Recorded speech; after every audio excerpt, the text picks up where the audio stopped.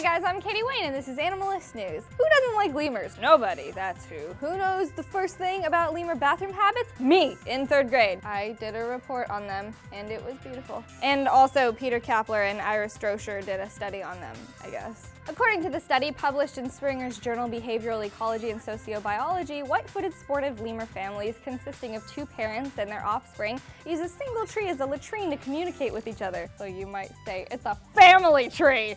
The thing about white-footed sportive lemurs is that they are nocturnal, non-sociable animals. While they share a territory, pair partners do not sleep in the same tree and they don't interact while foraging. They really don't see much of each other at all. Sounds like your typical American family!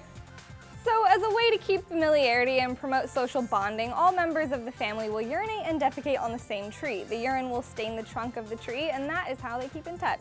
During the thousand plus hours that Droscher and Kappeler observed the lemurs, they also found that males visited the bathroom more often in the evenings when another unfamiliar lemur visited the area in order to let the stranger know that they were in someone else's territory. What's your favorite app to use while you go to the bathroom? Be sure to let me know in the comments below, and if you just love to know about all the bathroom habits of animals, check out this video, you little weirdie. Have you ever noticed that your dog will sometimes take forever to find out where to poop? Please remember to like and share this video. I love you all, and I will see you next time. Bye.